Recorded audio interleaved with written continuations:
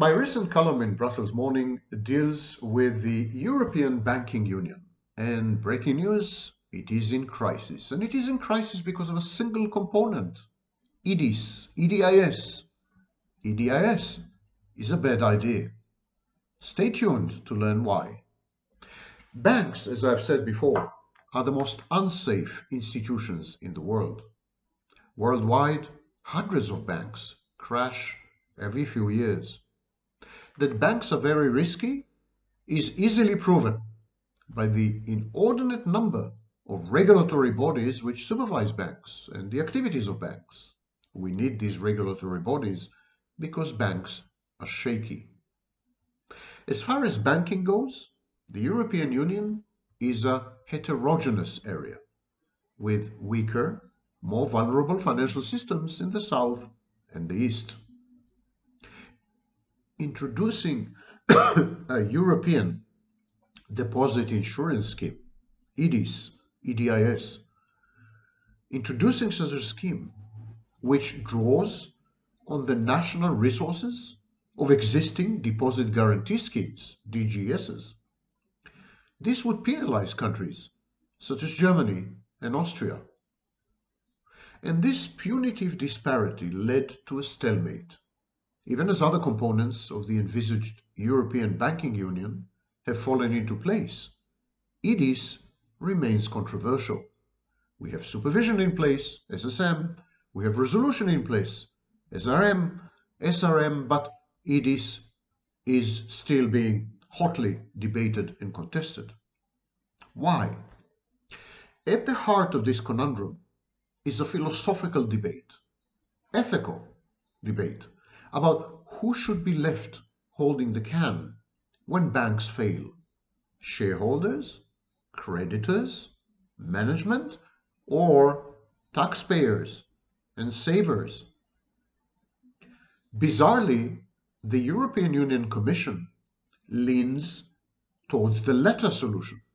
Taxpayers and savers should carry the burden, not shareholders, not management, not creditors.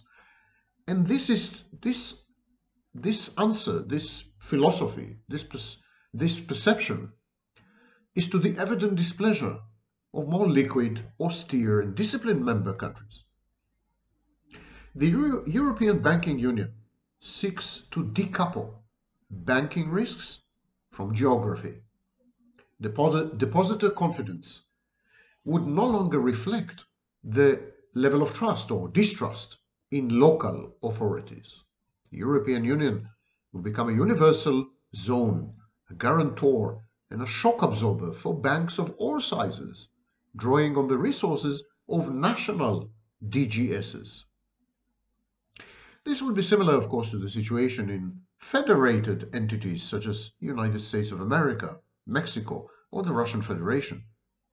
But this is a superficial similarity the EU is not nearly as homogeneous and centrally managed as the United States, either fiscally or monetarily. And don't let me go into Russia or Mexico. Many of the initiatives of the European Banking Union, such as the Sovereign Bond Backed Securities, SBBS, they make eminent sense. But EDIS is an exception. It would have an adverse impact on the risk profile of banks in the EU, and it would create a moral hazard in many of its territories, especially in southern and eastern Europe. Deposit insurance should be an instrument of last resort after all legal steps have been exhausted to recover funds from shareholders and creditors. And even then, it behooves, it behooves the insurance to be limited. Every stakeholder in the banking system need to do their due diligence before they plunge into a relationship with a financial institution. It's their problem. Moreover, deposit insurance ought to reflect local risks and be responsive to idiosyncratic information about the profiles of depositors, lenders, borrowers, and intermediaries in that market. A Europe-wide insurance scheme is liable to foster recklessness and engender deceitful practices in pockets of the industry among specific types of lenders and borrowers, or at times of bubbly, irrational exuberance. Rings a bell, I assume. In short, EDIS may boost depositor confidence in the short term, but as banking crises proliferate, EDIS will come to be seen as a liability among the more sober and responsible members of the Union.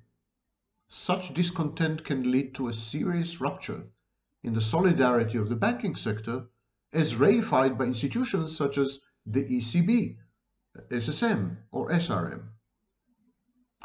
This is a better idea. And the better idea is to group banks by size across the European Union and create uh, the EU-wide equivalence of the mutual deposit guarantee schemes among Volksbanks, Sparkassen and Raiffeisen uh, banks in Germany and in Austria. These mutual guarantee schemes have been working for decades and they're great. The industry must bear the brunt of its own miscalculations and misconduct. No one else should. The only way to secure this outcome is to force banks with the same financial profile, for example, small banks, medium-sized banks, etc. So to force these kind of banks across the entire area of the European Union to forge together insurance schemes replete with annual contributions. And these annual premiums payable by the member financial institutions will be based on the bank's own unique risk profile, the risk profile of the bank's domicile and of the geographical distribution of its operations, credit ratings, and the risk profile of the European Union itself, the market risk. These are the equivalents of alpha and beta in portfolio management. The EU-wide schemes will spring into action only when relevant DGSs have failed. At no point will savers, depositors, or taxpayers be asked to foot the bill unless all the insurance schemes have exhausted their combined resources, a highly unlikely event. Deposit insurance schemes should be allowed to issue and sell bonds, in other words, to borrow, and they should be allowed to temporarily own equity and debt instruments of failing banks. In short, in some respects, in some respects, insurance schemes should function a lot like modern central banks. EDIS is an antiquated concept which penalizes the virtuous to salvage the profligate the reckless. This is not right. This is not even sustainable in the long run. We need a new idea.